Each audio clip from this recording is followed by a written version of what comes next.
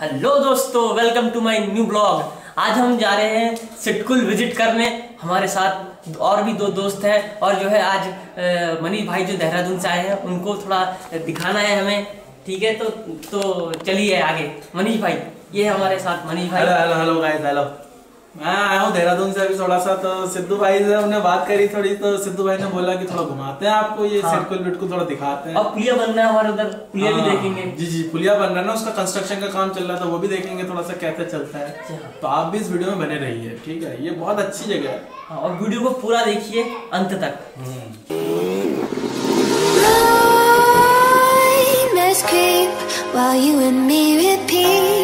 This bittersweet heat is suffocating. I'm waiting and always hesitating. Kryptonite desires set my heart afire. Heart on fire.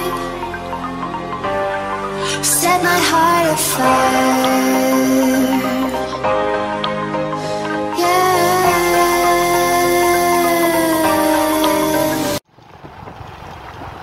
ये देखिए, यहाँ पर अभी जो main road है वो बनेगा और इससे आगे पुलिया, पुल का निर्माण हो रहा है, बड़े से ब्रिज का। देखिए कंस्ट्रक्शन का काम यहाँ पर लगातार चल रहा है।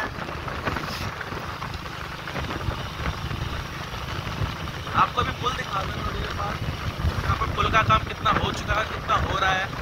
ये लाइन सीधे रुद्रपुर शक्ति फार्म से लेके हल्द्वानी तक जोड़ेगा। ये लाइन रास्ता बन जाएगा क्योंकि इससे पहले यहाँ कोई कॉमन यहाँ सीधा रास्ता नहीं था। सिर्फ़ इस पुल की वजह से क्योंकि यहाँ पर पुल पहले और बनने से पहले जो है क्षतिग्रस्त भी हो चुका है कुल हाँ, एक बार। ये- और आपको पता ही होगा कि उत्तराखंड का तो यही नियम है कि समय समय पर कोई ना कोई आपदा आता ही रहता है। आप देख सकते हैं आगे वीडियो में ये पुल टूटा हुआ है। अभी वो, वो भी वो भी रिपेयर हो रहा है। यहाँ से पुल शुरू होता है।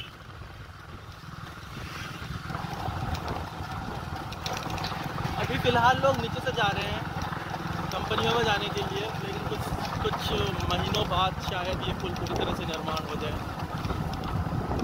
देखिए। इस पुल के बारे में कुछ बताइए, इसको बनने में कितना समय लगा, क्या हुआ? करीब दो साल से बन ही रहा है। अब देखिए, अभी शुरू होने वाला था, उसी टाइम उत्तराखंड में आपदा आते भी टूट गया पुल का, एक एक किनारा टूट गया है। वो देख सकते हैं, देखिए। अभी वहाँ पे अ, कार्य प्रगति पर है अभी चल रहा है काम वहाँ पे देखिए हमारे यहाँ कैसे रास्ते होते हैं नदियों से भी ऐसे जाना पड़ता है हमें।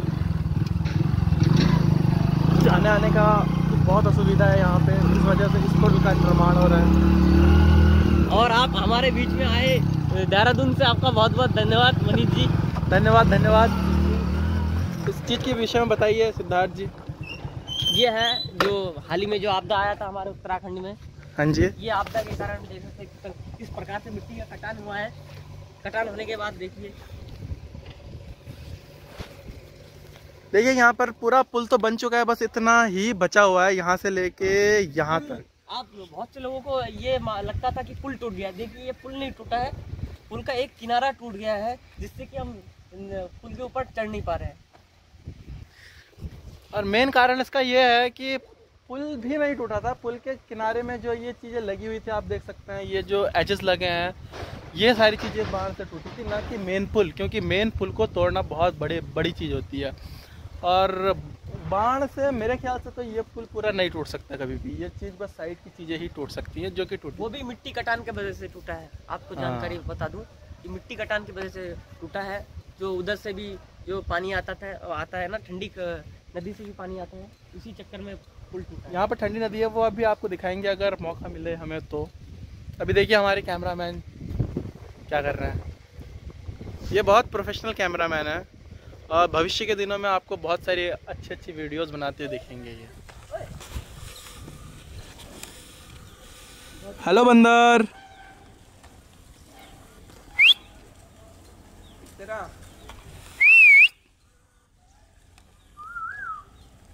हमें इस विषय में अभी पता नहीं है कि फोकस कैसे किया जाता है, क्या है, कैमरे में बहुत नए हैं हम लोग।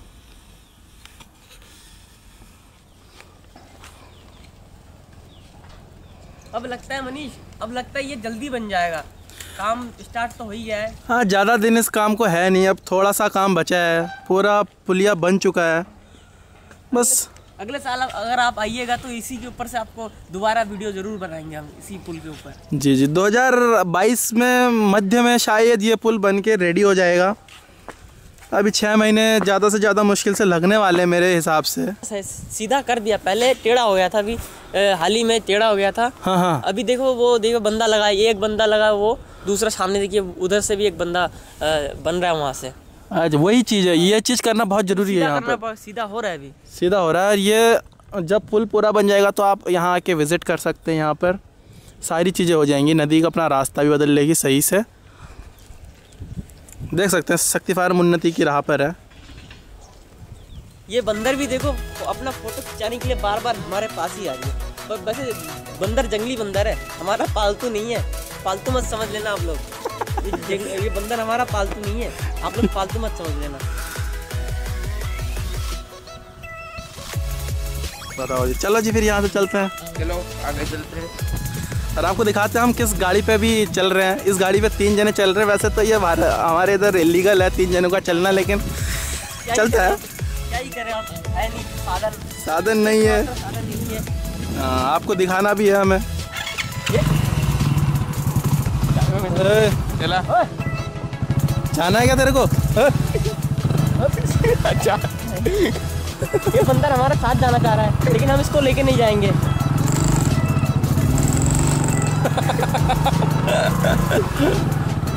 वो देखो ये बंदर भाग रहा है। हाँ। हाँ हाँ चल बैठ जा आजा नीने नीने। नीने नीने। आजा आजा आजा आजा आजा आजा आजा अरे यार। आजा आजा आजा आजा आजा आजा आजा धन्य धन्य तो बोल। चल अच्छी से। अच्छी हाँ, हाँ। आजा। धन्य धन्य हाथ धन्य। दे। पागल आओ कामड़ डर तो लगता है। कोई बात नहीं। हम चाहते थे कि वो हमारे साथ आए पर एक तरीके से हमें डर भी लग रहा था। अभी भी पीछा कर रहा है हमारा।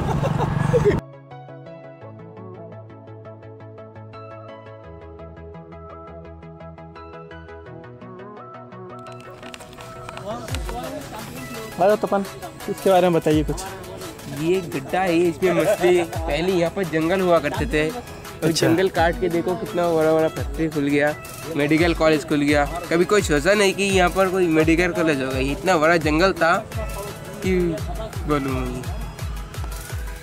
बीच में हम अभी एक टपरी पे रुके हैं और चाय पी रहे हैं। चाय का लुत्फ ले रहे हैं। थोड़ी देर चाय पी के फिर निकलते हैं आगे। देखिए ये है मेरी चाय। ये है हमारे सिद्धू पाजी और तपन जी। बढ़िया बनाया चाय बहुत टेस्टी है। मैं पी के बताता हूँ कैसी है। बढ़िया। अमेजिंग चाय।